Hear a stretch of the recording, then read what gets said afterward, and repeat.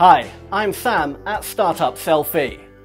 This lantern only needs seawater to charge.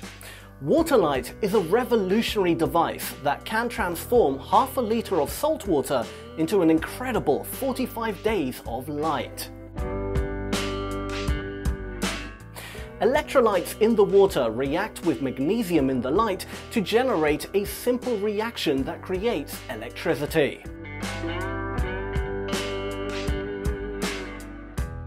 Wunderman Thompson Colombia and renewable energy startup E-Dina collaborated on Waterlight. They turned to the Wayuu, whose access to electricity is limited, but are surrounded by arid desert terrain that turns out to be the most powerful battery in the world, the sea.